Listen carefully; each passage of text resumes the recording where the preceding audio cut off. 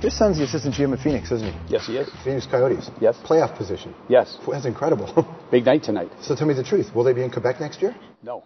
Really? They're going to be in Phoenix? Going to be in Phoenix. Are you buying the team?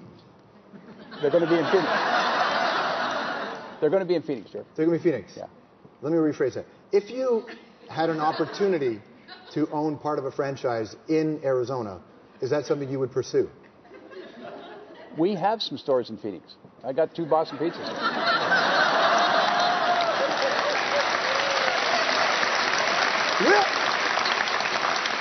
All right. I look forward to having you on our TV program in September to kick off the new season when you're the owner of the Phoenix Coyotes. Then, how about that? Well, you know, Dragon's Den's going to be great, starting about the same time, and uh, I will be in Toronto.